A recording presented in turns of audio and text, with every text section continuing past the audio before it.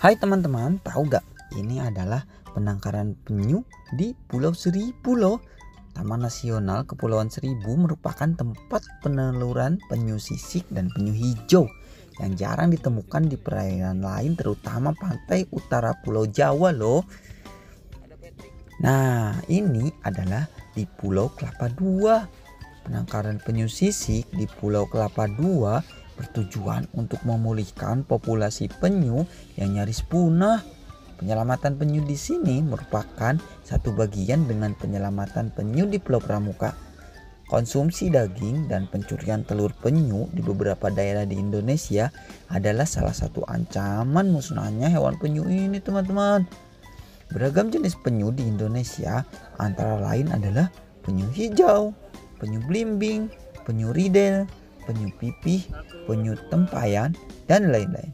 Biasanya, anak penyu yang ditetaskan di Pulau Kelapa II akan dilepaskan ke laut ketika berumur lebih dari enam bulan. Jenis tukik atau anak penyu yang dibesarkan di sini adalah penyu belimbing, teman-teman.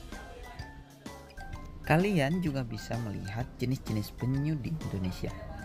Nih, ada gambarnya. Penyu tempayan nih. Jadi teman-teman selain kalian bisa melihat penyu asli juga bisa belajar loh. Ini anak penyunya. Nah ini untuk yang di penangkarannya nih. Gede-gede kan teman-teman?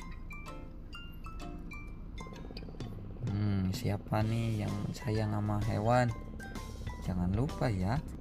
Jangan buang sampah sembarangan agar sampahnya tidak dimakan oleh penyu. Kasihan kan kalau sampah plastik dimakan oleh penyu.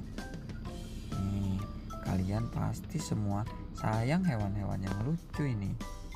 Jadi, teman-teman, kalau kalian sayang dengan penyu-penyu ini, kalian harus menjaga lingkungan.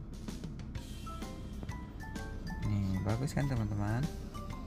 Airnya bening kalau lingkungan ini kita jaga. Ini di Pulau Kelapa nih di sini ada penyu-penyunya yang lumayan besar juga teman-teman. Oke ya teman-teman. Terima kasih sudah menyaksikan channel Paki.